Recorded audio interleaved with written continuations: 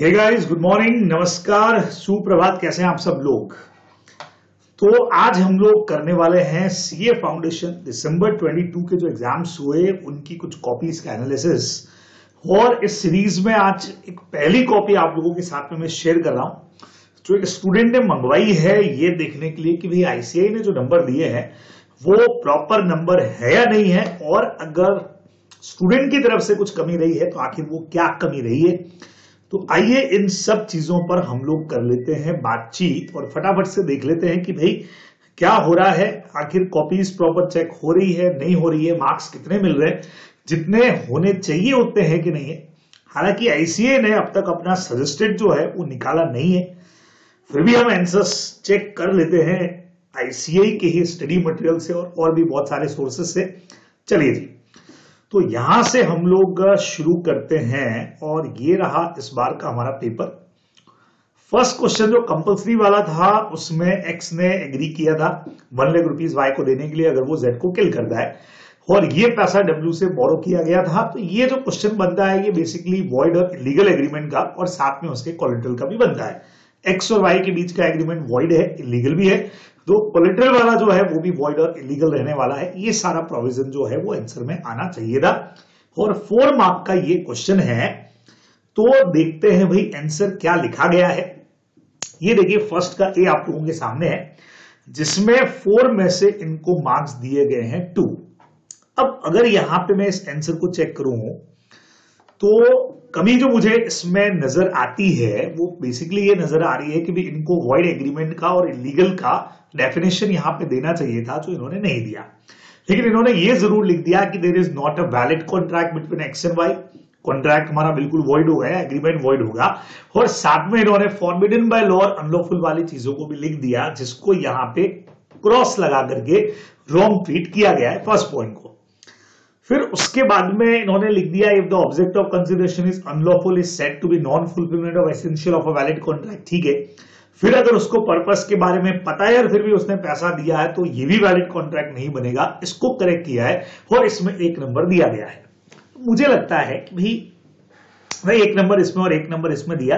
I think इनको दिए गए हैं। यहाँ पे फोर में से, देख लेते हैं टू मार्क्स इनको यहाँ पे अलॉट हुए। एक नंबर इस पॉइंट का और स्टेप थ्री इन्होंने अपने हिसाब से लेकर के एक नंबर लिया है। मुझे लगता है प्रोविज़न का इनको कोई भी नंबर नहीं दिया गया। खाली फाइनल आंसर जो दोनों सही है, उसके नंबर दे दिए गए तो चलिए ठीक है, मुझे लगता है प्रोविज़न शायद उतना प्रॉपर नहीं लिखा है तो नंबर काट लिए होंगे। अदरवाइज़ एक आध नंबर इसमें और मिल सकता था। पर ठीक है, चलो भाई, एक मिनट के लिए मान लिया कि प्रोविज़न सही नहीं था उतना तो ये मार्क्स कटे। ठीक है? सेकेंड क्वेश्चन की तरफ़ बढ़ जाते हैं, यानी फ़र्स्ट का जो बी वाला हमारा पोर्शन था, उसकी तरफ़ हम लोग पढ़ते हैं। अब इस क्वेश्चन को देखिएगा। ये क्वेश्चन जो है, वो कुछ इस तरह से है। ये एक बढ़िया सा क्वेश्चन है। कंपनीज़ एक्ट का हमारा क्वेश्चन है, जहाँ पे एक पर्सन आर है कंपनी एमएनओ प्राइवेट लिमिटेड के साथ डीलिंग करता है। मैंने इसका पूरा सॉल्यूशन जो है, वो ऑलरेडी अपने चैनल पे डिस्कस किया हुआ है। आर जो है वो क्रेडिट पीरियड उसको ऑफ़र होता है, लेकिन उससे पहले ही वो कंपनी के पास में चला जाता है पेमेंट करने के लिए, और वहाँ पे उसको एक बंदा एम्प्लॉय मिलता है, और कैश काउंटर के ऊपर, और वो कहता है भी कैशियर तो अभी छुट्टी पे है तो उसको पेमेंट कर देता है। ठीक है? और mister R paid the money and was issued sign and seal receipt उसको देता है मिस्टर सी को, और ड्यू डेट के ऊपर जब इसको रिकवरी का नोटिस मिलता है तो ये कहता है मैंने तुम्हें पहले ही पेमेंट कर दिया है। अब ये जो क्वेश्चन आप लोग देख रहे हैं ये नवंबर 2018 में आईसीए का एक क्वेश्चन था। उससे ये बहुत मैच करता है। ये देखिए, मैं आपको क्वेश्चन दिखाने जा रहा हूँ। ये रहा हमारा वो क्वेश्चन ये नवंबर 2018 के इस क्वेश्चन से बहुत मैच करता है। एक्स ने कुछ गुड्स एबीसी से परचेज किए। एक महीने का यहाँ पे भी क्रेडिट पीरियड है। ड्यू डेट से पहले चला गया। वहाँ पर एक पर्सन इसको मिलता है जो फैक्ट्री सुपरवाइजर है। जेड उसको बोलता है कि भाई यहाँ पे कैशियर लीव पे है और वो उसको पैसे दे देता है। वो अपने रिसिप्ट इशू करता है सिग्नेचर के थ्रू फिर रिकवरी का नोटिस मिलता है। तो यहाँ पे भी पूछा गया था कि भाई ये बंदा फ्री हुआ या नहीं हुआ। ये सिचुएशन इन्होंने पूछा है। नाउ अभी इसके आंसर में आईसीआई ने जो आंसर दिया, वो मैं आपको बताने जा रहा हूँ। डॉक्टराइन ऑफ़ इंडोर मैनेजमेंट इन्होंने पूरा समझाया है।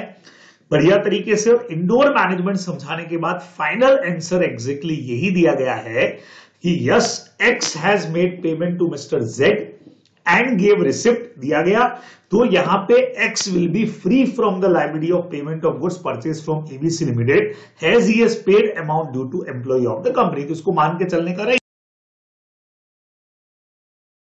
सजेस्टेड आंसर नवंबर 18 के अंदर। हमारा आंसर जो है वो ऑलरेडी दे के रखा है। चलिए, अब इनके आंसर पर अगर मैं बात करूँ तो बट ऑबियस है कि भाई प्रोविज़न तो बहुत छोटा सा लिखा है इन्होंने। लेकिन according to the provision of companies act according to the provision of indoor management it is presumed by the third party that all compliance of the company have and it is only beneficiary to the outsider बराबर भाई third party मान करके चलेगी कि सारी internal compliance पूरी कर दी होगी। फिर इन्होंने ये चीज़ लिखी और देन यहाँ पे इन्होंने एक आंसर लिख दिया कि हाँ जिसको करेक्ट किया गया है ही mister R will not be liable as he made the payment got the receipt of the payment और इसको करेक्ट किया इसमें एक नंबर इनको मिले। अब क्वेश्चन का एक सेकेंड पार्ट और भी था कि अगर ये रिसिप्ट पे सील वगैरह नहीं होती तो लाइबल होता कि नहीं होता, वो चलो इन्होंने नहीं किया। तो वहाँ पे टू ज़ीरो नंबर इनको मिल गए। अब सवाल यह है कि भाई प्रोविज़न के नंबर किधर है? है ना? देखिए, ये क्वेश्चन जो है, वो भी है फोर मार्क का क्वेश्चन है, जिसमें से एक ही नंबर दिया गया। माना इनका प्रोविज़न उतना प्रॉपर नहीं है जितना आईसीए ने अपना आंसर लिखा, लेकिन इंडोर मैनेजमेंट वाला पॉइंट यहाँ पे दे दिया गया है। तो एटलीस्ट एक नंबर तो यहाँ पे मिलना ही चाहिए था मेरे अकॉर्डिंग जो नहीं मिला है। फिर आपने इस आंसर को करेक्ट माना है करेक्ट मान करके एक नंबर आपने दे दिए। चलिए सेकेंड पार्ट का एक नंबर आपने नहीं दिया, लेकिन प्रोविज़न के मार्क्स तो यहाँ पे दिए ही नहीं गए। यहाँ अपने को मार्क्स दिख ही नहीं रहे। तो ये एक बहुत ज़बरदस्त वाली बात हो गई कि भाई फ़र्स्ट स्टेप ये इसको मान रहे हैं। सेकेंड स्टेप को ज़ीरो मान रहे हैं और उसके बाद टोटल इनको एक ही नंबर दे दिया गया। यहाँ पे भी चार में से मुझे लगता है चलिए, पूरा प्रोविज़न उतना प्रॉपर नहीं है जितना चाहिए था। एक नोटिस का एक्सेप्शन है इंडोर मैनेजमेंट है प्रजम्पशन लेके चलना है, ऐसा वैसा सब कुछ समझ में आया। लेकिन चार में से एक नंबर यहाँ पे जस्टिफाई नहीं लगते एटलीस्ट दो नंबर तक इनको मिलने ही मिलने चाहिए थे। तो एक नंबर का तो मुझे यहीं पे लगता है, कुछ ना कुछ घपला। चलिए, आगे बढ़ते हैं फ़र्स्ट के सी की तरफ़ चलते वहाँ पे भी फोर में से वन मार्क इनको मिला है। अब यहाँ पे सीधा सीधा सा जो पूछा गया क्वेश्चन देखते हैं अपन। क्वेश्चन पूछा है डिस्कस द चार फोर मार्क का क्वेश्चन है चार नंबर का discuss the essential element regarding the sale of unascertained goods and its appropriation unascertained goods का सेल कैसे होता है? और उसका एप्रोप्रिएशन कैसे करना है? फोर मार्क का अपना क्वेश्चन है। और मैं यहाँ पे दूसरा काम करने जा रहा हूँ। मैं आपको यहाँ पे सीधा सीधा सा आईसीआई के स्टडी मैट वाले पॉइंट पर लेकर के चलता हूँ। ये देखिएगा। ठीक है? अब इसमें सेल्स ऑफ़ गुड्स एक्ट में अगर हम आएँगे तो सेल्स ऑफ़ गुड्स एक्ट में ये पॉइंट हमको क्लियर दे रखा है ट्रांसफ़र ऑफ़ ओनरशिप वाले चैप्टर के अंदर चलते हैं। और वहाँ पे इस पॉइंट का आंसर चेक करते हैं कि बेसिकली इसका आंसर होना क्या चाहिए, है ना? ट्रांसफ़र ऑफ़ ओनरशिप पे चल लेते हैं। हाँ जी, ये ट्रांसफ़र ऑफ़ ओनरशिप का पोर्शन यहीं पे दिया रहेगा, ये रहा। ये देखिए, पूरा एनालिसिस भी है, कुछ एसेंशियल दे रखे हैं। और ये पूरा पॉइंट जो है वो इन्होंने यहाँ पे, ये देखिए समझाया है, ये रहा। सेल ऑफ़ अनअसर्टेन गुड्स और अप्रोप्रिएशन में appropriation of goods involve selection of the goods intention using performance और यहाँ पे सेक्शन 23 के एनालिसिस के अंदर कुछ चीज़ें इन्होंने यहाँ पे बढ़िया सी दे रखी है, जो मैं अभी आप लोगों से बात करने वाला हूँ। सेक्शन नंबर 23 देखिए 22 यहाँ हुआ। और ये इन्होंने 23 के अंदर ये देखिए, ये ये पोर्शन दे रखा है। ठीक है, ये देखिए, ये एसेंशियल्स इन्होंने यहाँ पे दे रखे हैं। अब अप्रोप्रिएशन का मतलब सिलेक्शन ऑफ़ द गुड्स होता है। पहला पॉइंट इन्होंने लिखा कि भाई ये फ्यूचर गुड्स के लिए होता है। सेकंड नंबर के ऊपर क्वालिटी और डिस्क्रिप्शन वही होना चाहिए। गुड्स डिलीवरेबल स्टेट में होने चाहिए। अब गुड्स जो है वो अनकंडीशनल होने चाहिए, समझ में आया। अप्रोप्रिएशन कौन करेगा? सेलर करेगा with the consent of buyer या बायर करेगा with the consent of seller ये एसेंट एक्सप्रेस से एम्प्लाइड हो सकती है और ये कॉन्ट्रैक्ट से पहले या बाद में भी हो सकती है। ये सारे पॉइंट जो है वो यहाँ पे लिखे हुए हैं। ठीक है? अब हम चलते हैं स्टूडेंट की कॉपी की तरफ़। ये देखिए, ये इन्होंने क्या लिखा। According to provision sale of unascertained goods is only possible after ascertaining the goods and ascertaining means ascertaining the goods appropriation is required बढ़िया। अब अप्रोप्रिएशन के रूल्स में इन्होंने लिखा है appropriation can be made buyer with the consent of seller seller with the consent of buyer यानी हमारा एक पॉइंट मैच करता है। ये अप्रोप्रिएशन एक्सप्रेस और इंप्लाइड होता है, ये भी पॉइंट मैच करता है। गुड्स डिलीवरेबल स्टेट में होने चाहिए, ये पॉइंट भी मैच करता है। Goods should be according to the quality and description state in the contract ये भी मैच करता है। और एक पॉइंट हमारा ट्रांसमिशन वाला पॉइंट था कि भाई ट्रांसमिशन में गुड्स दिए तो मान के चलते हैं अप्रोप्रिएशन कर दिया। तो इतने पॉइंट्स मैच करने के बाद भी इनको नंबर दिया गया है सिर्फ़ एक। अब ये नहीं समझ में आ रहा है भाई कि आखिर आईसीआई का ही आंसर ये जितने पॉइंट्स आप यहाँ देख रहे हैं मैक्सिमम पॉइंट सारे के सारे कवर कर लिए गए। बी पॉइंट इन्होंने लिख दिया सी पॉइंट इन्होंने लिख दिया ई e पॉइंट इन्होंने लिख दिया फोर मार्क का हमारा क्वेश्चन है और सिर्फ़ एक नंबर एफ़ पॉइंट भी लिखा हुआ है और मार्क जो है वो सिर्फ़ एक नंबर मिल रहा है। तो यहाँ तो मामला फिर से एक नंबर का गड़बड़ हो गया, है ना? तो चार में से अगेन फोर में से वन मार्क ऐसा लग रहा है भाई फेवरेट नंबर बन चुका है। ये वन नंबर तो इससे ऊपर तो देने का सोच ही नहीं रहा। ये दो नंबर दिया, यहाँ पे एक नंबर दिया। तो इन दोनों क्वेश्चंस के अंदर अब इसमें चार में से तीन नंबर तो बहुत आराम से बनते हैं इनके तो दो नंबर और ऊपर वाले क्वेश्चन में एक नंबर एक्स्ट्रा तीन नंबर तो यहाँ पे साफ़ दिख रहे हैं। According material provided by the ICI उसके हिसाब से तो नंबर यहाँ बराबर लग रहे हैं। और प्रेजेंटेशन भी एकदम प्रॉपर तरीके से राइटिंग के नंबर वैसे आप लोग काटते नहीं ऐसे ही कट नहीं करता है। लेकिन फिर भी देखिए तो राइटिंग भी प्रॉपर तरीके से समझ में आती है। तो कहना मुश्किल है भाई कि आखिर नंबर काटे क्यों? चलिए, आगे कुछ और क्वेश्चन चेक कर लेते हैं। कुछ और आइडिया हमको लग जाएगा। थर्ड क्वेश्चन के अंदर हम लोग आए। अगला क्वेश्चन इन्होंने थर्ड किया है। थर्ड में भी दो क्वेश्चन है छह छह नंबर के और दोनों में इनको दिया गया है। एक एक नंबर सिर्फ़ एक एक नंबर भाई देखे क्या चक्कर है। सबसे पहले आप लोगों को क्वेश्चन दिखा देता हूँ। क्वेश्चन नंबर थर्ड का ए पार्ट एक्चुअल में था क्या, पूछा क्या गया था? ये देखिएगा। कहना पार्टनर भी एक्सपेल क्या किसी पार्टनर को एक्सपेल कर सकते हैं? इफ़ सो हाउ कैसे करेंगे?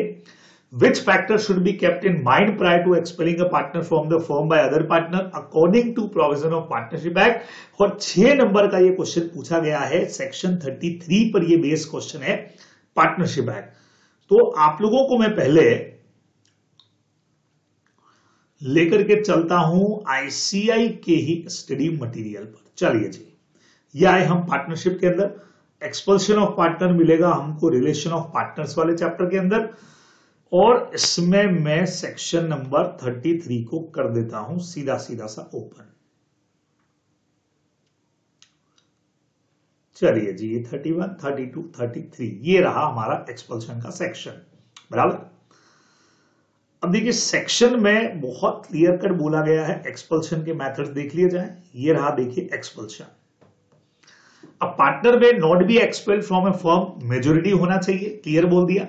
उसके अलावा गुड फेथ होना चाहिए और कॉन्ट्रैक्ट होना चाहिए. एनालिसिस में भी तीन पॉइंट दिए हुए कॉन्ट्रैक्ट होना चाहिए मेजोरिटी होना चाहिए गुड फेथ होना चाहिए. और गुड फेथ कैसे होगा, उसके लिए भी पॉइंट एनालिसिस में दिए गए हैं। तीन चीज़ें होनी चाहिए। In the interest of partnership होना चाहिए, उसको नोटिस दिया जाना चाहिए और अपॉर्चुनिटी ऑफ़ बीइंग हर्ड होगा। और अगर ऐसा नहीं किया तो एक्सपल्शन इनवैलिड यानी कि नल एंड वॉइड हो जाएगा। ये क्लियर कट आंसर के अंदर लिखा हुआ है। बराबर?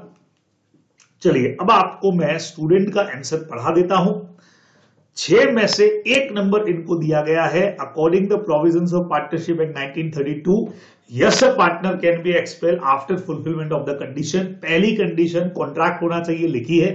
Second number majority of the partners of the firm वो भी लिखी है. तीसरे नंबर पे गुड फेथ होना चाहिए, वो भी लिखा है. गुड फेथ का मतलब आगे इन्होंने समझा दिया must be interest in the partnership firm होना चाहिए.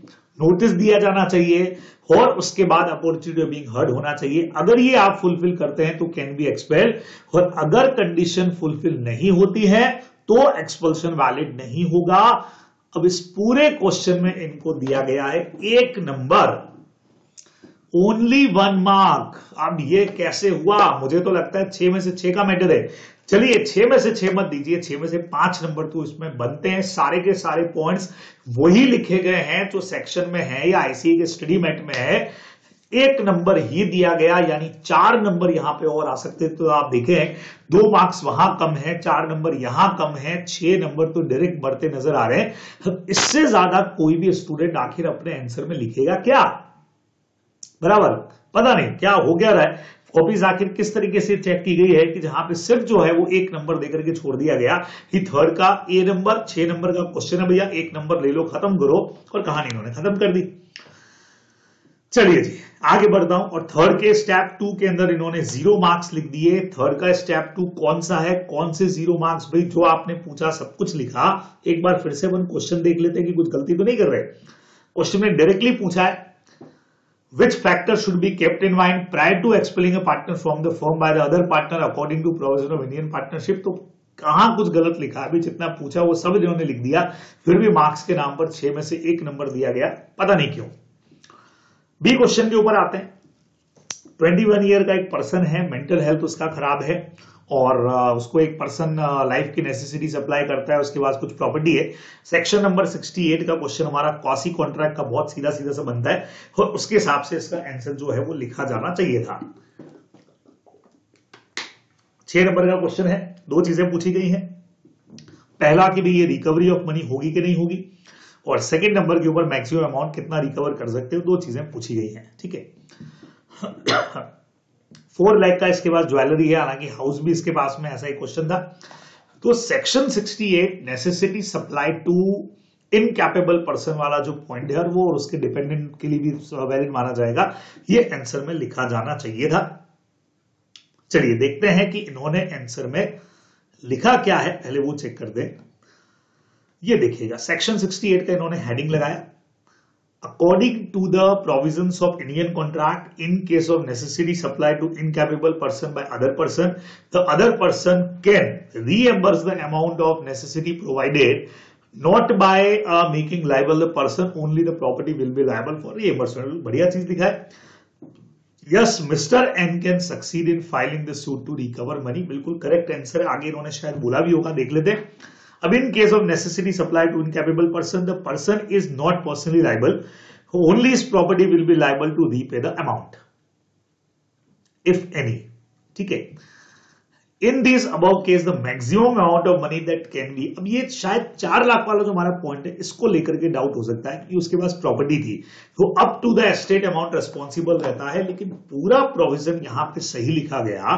सेक्शन 68 के हिसाब से एक इनकैपेबल पर्सन को नेसेसिटी सप्लाई हो रहा है लेकिन यहाँ पे भी नंबर दिए गए हैं एक।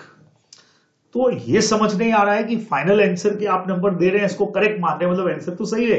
तो भाई प्रोविज़न के नंबर देना भूल गए प्रोविज़न के नंबर दिए नहीं, या और क्या चाहते थे प्रोविज़न के अंदर? क्योंकि सेक्शन 68 की अगर बात करूँ तो एग्जैक्टली यही पॉइंट लिखा है। अच्छा हम माने कि सर सेक्शन 68 तो इसमें लगता ही नहीं है तो भैया एक नंबर भी क्यों दिया फिर? है ना?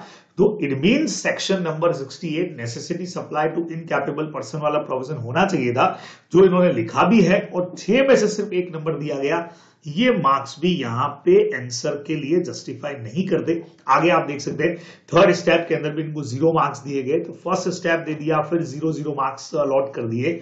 वो प्रोविज़न के मार्क्स यहाँ पे नहीं नज़र आ रहे हैं, समझ नहीं आ रहा इतने नंबर कट किस वजह से किए गए हैं। नेक्स्ट पे आते हैं, चलिए फोर्थ का ए नंबर भी आपको दिखा देता हूँ मैं। फोर्थ के ए नंबर में इनको छह में से दिए गए हैं दो नंबर ठीक है? आइए चेक कर लेते हैं कि सीन क्या है। क्वेश्चन का आंसर अगर देखा जाए तो यहाँ पे ये रहा fourth what are the rights of unpaid seller in context of resale of the goods under sales of goods act resale के राइट्स क्या है? छह नंबर का क्वेश्चन जो है वो दिया गया है। देखें इन्होंने आंसर में क्या लिखा है। According to the provision of sales of goods act the seller is said to be unpaid seller वो अनपेड सेलर की कंडीशन की ज़रूरत नहीं थी। रीसेल करने का राइट है। पैरिशेबल नेचर सही लिखा है। नॉन पैरिशेबल नेचर में विदाउट गिविंग नोटिस जो है सॉरी पैरिशेबल में विदाउट गिविंग नोटिस आप बेच सकते हो। नॉन पैरिशेबल में नोटिस देना था। नहीं तो प्रॉफिट एंड लॉस जो है वो इसी को बियर करना पड़ेगा। समझ में आता है अपने को। अब इन्होंने आंसर तो काफ़ी कुछ बनाया। मार्क्स इनको दो मिले हैं। बेसिकली ठीक है। ये मार्क्स मुझे ठीक लग गए। दो या तीन नंबर मिल जाने चाहिए थे, क्योंकि इसमें एक दो प्रोविज़न और भी हैं जो इनको लिखने चाहिए थे, जो नहीं लिखे। लेकिन फिर भी पूरा प्रोविज़न सिर्फ़ दो ही नंबर के ऊपर खत्म हो जाए, जबकि पैरिशेबल नॉन पैरिशेबल इन्होंने सब लिख दिया, पर ठीक है। स्टडी मैट ने इसमें पाँच पॉइंट दिए, उसमें से इन्होंने दो ही पॉइंट कवर किए तो इनको दो मार्क्स मिल गए। तो ये मार्क्स मुझे ठीक लग रहे हैं कि चलो ठीक है भाई, यहाँ तो सही तरीके से जस्टिफाई मार्क्स को किया गया है।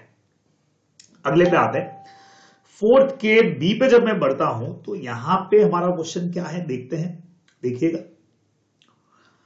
यहाँ पूछा गया है कि इंडियन पार्टनरशिप एक्ट में नॉन रजिस्ट्रेशन के इफेक्ट्स पूछे गए हैं कि नॉन रजिस्ट्रेशन के इफेक्ट्स क्या होंगे? ये सबके ऊपर छह नंबर का क्वेश्चन है। तो उसका आंसर जो इन्होंने लिखा है, वो भी देख लेते हैं।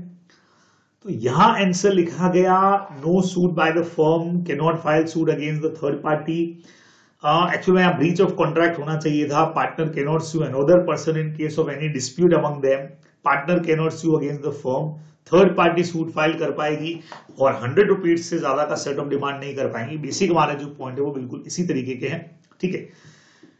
और कौन से ऐसे राइट है जिनका इफ़ेक्ट नहीं होगा? डिजोल्यूशन के लिए अप्लाई कर सकते हो, उस वक्त अकाउंट्स के लिए अप्लाई कर सकते हो। Firm can enforce its statutory rights hundred rupees का सेटअप वाला पॉइंट था ही था। ऑफिशियल रिसीवर के राइट्स पे कोई असर नहीं होगा। ये सारे पॉइंट में इनको लिखने चाहिए थे। बट ठीक है, बात समझ में आती है कि काफ़ी पॉइंट्स इसमें से मिसिंग है। और third party firm can not file suit for breach of contract आना चाहिए था, वो सारी पॉइंट्स इन्होंने नहीं लिखे। आईसी के स्टडी मैट में भी काफ़ी कुछ अच्छा दे रखा है मैटर तो ठीक है, यहाँ छह में से दो नंबर है। मुझे लगता है कि तीन नंबर तक मिल सकते थे, पर चलो। तो यहाँ थोड़ा सा आप कॉपी चेक करना अपने हिसाब से जो आईसी का मटेरियल होगा, उससे मैच किया रहेगा। तो इन्होंने दो नंबर दिए। ये फिर भी काफ़ी कुछ समझ में आता है। ठीक है भी समझ गए, मान दिया हमने। चलिए, आगे की तरफ़ बढ़ते अब इन्होंने एक क्वेश्चन किया है सेकेंड वाला। चलिए सेकेंड क्वेश्चन आपको दिखाता हूँ मैं। सेकेंड क्वेश्चन में ए पोर्शन में इनको दिए गए हैं सेवन में से टू मार्क्स पहले देख लेते हैं क्वेश्चन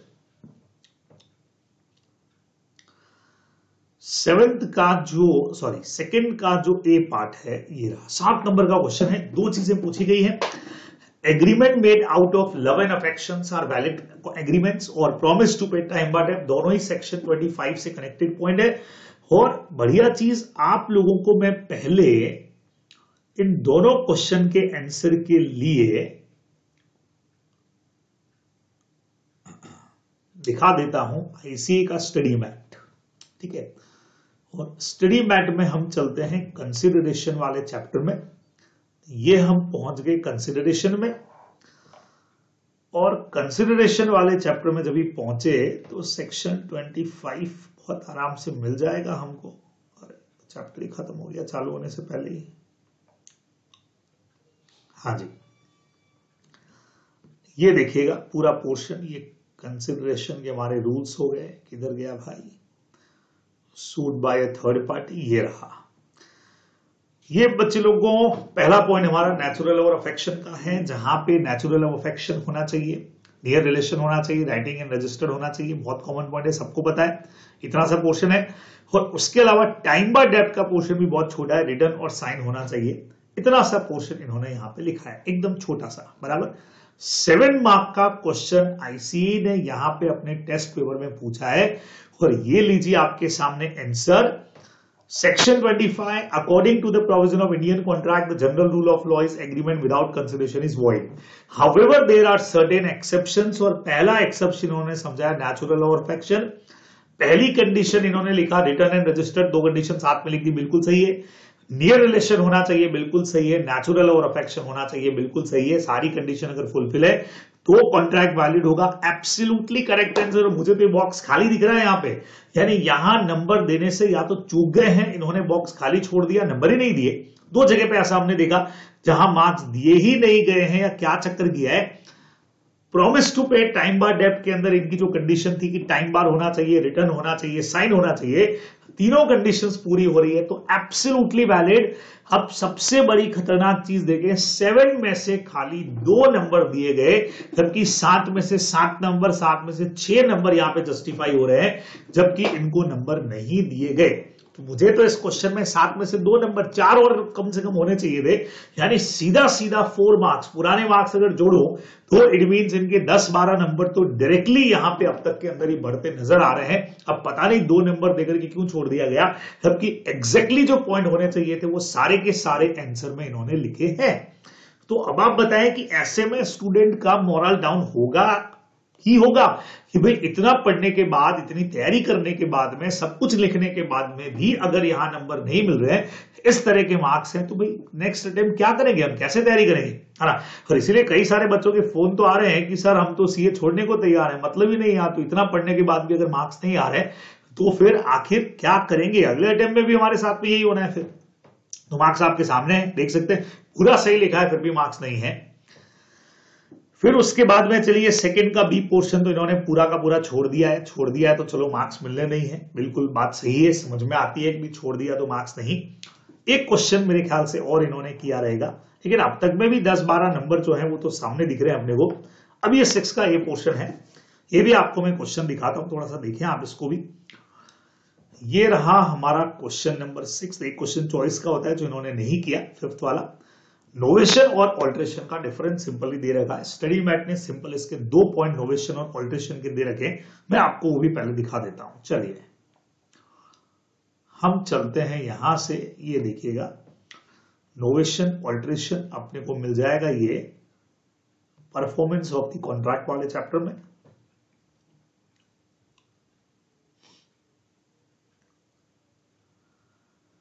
यहाँ पे मिलेगा परफॉर्मेंस रेसिप्रोकल प्रोमिस का पॉइंट आ गया।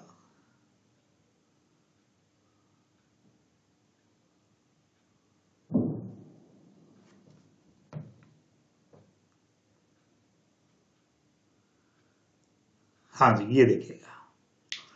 Effect of novation rescission alteration और यहाँ इन्होंने एक पॉइंट दे रखा है, जहाँ इन्होंने नोवेशन और ऑल्ट्रेशन का डिफरेंस समझाया। पहला पॉइंट इन्होंने लिखा नोवेशन का मतलब substantial of existing contract with new one पुराने की जगह नया आता है, और इसमें change in terms and condition and may be change in parties भी हो सकता है, लेकिन ऑल्ट्रेशन के अंदर सिर्फ़ म्यूचुअल एग्रीमेंट में क्या चेंज होता है? टर्म्स ऑफ़ द कॉन्ट्रैक्ट में भी ऑल्टर खाली टर्म्स चेंज होती है, बाकी सेम रहता है। चलिए।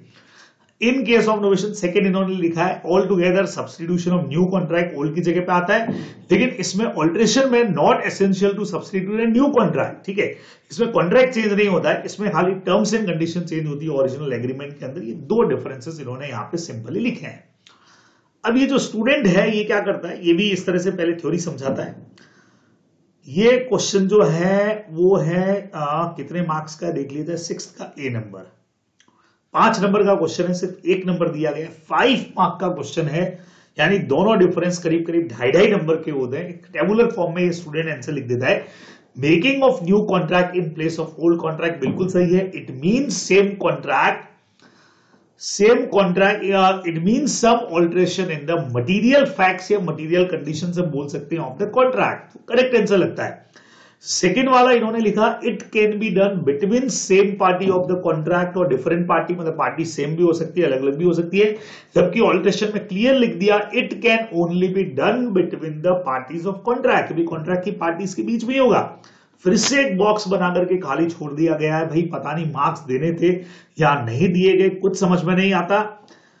फिर लिख दिया गया now party can be enter new party can be enter into contract इसमें कोई भी नया पार्टी नहीं आएगा। भाई, अगर आपको लगता है कि वो दो पॉइंट नहीं लिखे तो कम से कम ढाई से तीन नंबर तो इस आंसर के अंदर बनते ही बनते हैं, है ना? और यहाँ नंबर दिए गए हैं, पाँच में से सिर्फ़ एक, जबकि दो या तीन नंबर तो यहाँ जस्टिफाई करते हैं कि आने ही चाहिए थे। जितना पॉइंट चाहिए, उसको टेबुलर फॉर्म में लिखा है, लेकिन इन्होंने आंसर प्रॉपर तरीके से लिखा है। समझ नहीं आता, यहाँ पे भी पाँच में से सिर्फ़ एक नंबर दिया गया, जबकि ढाई से तीन नंबर यहाँ पे, चार नंबर तक भी, चलो चार नहीं तो थ्री मार्क्स तो यहाँ पे बनते हैं। दो मार्क्स यहाँ पे साफ़ कम दिख रहे हैं, पता नहीं कॉपी कैसे चेक हुई है। सिक्स का बी नंबर चेक कर दे। सिक्स के बी के अंदर भी कुछ डिफरेंसेस पूछे गए हैं। पार्टनरशिप और को ओनरशिप के डिफरेंसेस यहाँ पे पूछे गए। अब आपको मैं बताऊँ ये क्वेश्चन है हमारा फोर मार्क का, ठीक है? चार डिफरेंसेस स्टडी मैट में दे रखे हैं तो हर एक डिफरेंस अपने को एक नंबर का समझ में आता है। मैं आईसीए का ही सीधा सीधा मटेरियल यहाँ पे ओपन कर देता हूँ sales of goods act general nature of partnership का फ़र्स्ट चैप्टर और इसी में पार्टनरशिप और को ओनरशिप का डिफरेंस हमको दे रखा है। कई बार स्टडी मैट के डिफरेंस नहीं है तो मार्क्स कटते हैं, समझ में आता है, देखिए चार पॉइंट है। पहला नंबर है फॉर्मेशन एक्सप्रेशन इंप्लाइड होना चाहिए, जबकि ये लॉ से होता है, ये शायद पॉइंट स्टूडेंट ने नहीं लिखा है, अभी मैं चेक कर लूँगा। एम्प्लाइड या म्यूचुअल एजेंसी पार्टनर्स में होती है ओनरशिप में नहीं होती है। नेचर ऑफ़ इंटरेस्ट इसमें प्रॉफिट एंड लॉस जो है, वो शेयर होता ही है, इसमें प्रॉफिट एंड लॉस शेयर नहीं होता है। ट्रांसफ़र ऑफ़ इंटरेस्ट जो है, वो पार्टनरशिप के अंदर सबकी कंसर्न से होता है, और इसके अंदर आप अपना शेयर ट्रांसफ़र कर सकते हैं। चार पॉइंट जो है, वो स्टडी माइट हमारा लिखता है। चलिए, बात समझ में आती है। स्टूडेंट के अगर आंसर की बात करूँ तो इसने लिखा there exist business in the partnership there is no business in the ownership ये पॉइंट बेसिकली सही है। चलिए ठीक है, मान लिया आईसी के स्टडी मैट में नहीं है, इसीलिए उन्होंने इसके नंबर नहीं दिए। अदरवाइज़ हर वो बंदा जिसको नॉलेज रहेगा, वो जानता है कि हाँ ये पॉइंट सही है। Second point mutual agency exist करती है पार्टनरशिप में, हर पार्टनर एक दूसरे का एजेंट है, जबकि ये चीज़ को ओनरशिप में नहीं होती, ये स्टडी मैट से भी मैच कर रहा है तो भैया दो हाँ चार पॉइंट है, उसमें से एक नंबर तो यहीं पे मिल जाना चाहिए। आगे बढ़ते हैं। पार्टनरशिप में प्रॉफिट शेयर होता है, जबकि यहाँ पे प्रॉफिट शेयर नहीं होता है। बहुत सीधा सीधा सा, चार में से दो पॉइंट तो यही मिल गए, जबकि मार्क्स दिया गया है फोर में से ओनली वन तो भैया चार में से दो नंबर तो साफ़ दिख रहे हैं। चलिए, अगला वाला है it is relation among the person agree to share ये सेम पॉइंट लिख दिया, चलो इसके मार्क्स नहीं मिलेंगे। लेकिन फोर में से टू मार्क्स तो दो पॉइंट सही है तो दो नंबर तो दीजिए, एक नंबर देकर के फिर से काम तमाम कर दिया गया। यानी यहाँ पे भी प्रॉपर तरीके से चेकिंग जो है, वो नहीं दिख रही है। लास्ट क्वेश्चन फॉरेन कंपनी का डेफिनेशन पूछा है। चलिए, तीन नंबर का क्वेश्चन है। दो नंबर जितना नंबर दिया है। एक नंबर हर बार ऐसे काटता है या कोई भी थ्योरी पेपर में कट जाते हैं। मान लिया मैंने जितना डेफिनेशन लिखा, उसके हिसाब से दो नंबर जो है वो जस्टिफाई करते हैं। ये तो चलो इनका सेकेंड पार्ट आ गया बीसीआर वाला। तो लॉ के पेपर की अगर मैं बात करूँ तो भाई यहाँ पे बहुत आराम से इनके 12 टू 15 मार्क्स जो हैं, वो बढ़ते नज़र आते हैं। लॉ के टोटल मार्क्स की बात करूँ तो 12 प्लस इनको मार्क्स दिए गए हैं फोर कंपलसरी क्वेश्चन के फोर 16 नंबर है। अब 16 नंबर में 12 नंबर भी अगर और ऐड कर दिए जाए तो भैया 30 नंबर या 30 से 35 नंबर तो अकेले लॉ में इस बंदे को मिलते दिख रहे हैं। तो आप सोचें कि बहुत आराम से ये जहाँ 26 के ऊपर है, बहुत इजीली जो है ये स्टूडेंट पास होता दिखता है आराम से इसके नंबर 40 तक पहुँच सकते हैं। अब पता नहीं क्यों मार्क्स नहीं दिए गए, इसका तरीका क्या है? क्या अभी भी कोई सुनने को तैयार है वहाँ पे? ये तो भाई नहीं पता। तो ऐसी बहुत सारी कॉपीज मेरे साथ हैं। हाँ कई सारे स्टूडेंट जो पास हो गए, उनकी कॉपीज भी मेरे साथ है, जिसको हम लोग एनालिसिस करके देखेंगे कि हाँ सच में आखिर हो क्या रहा है? और ये भी कोशिश करेंगे कि ऐसे ही तक की बात पहुँचे।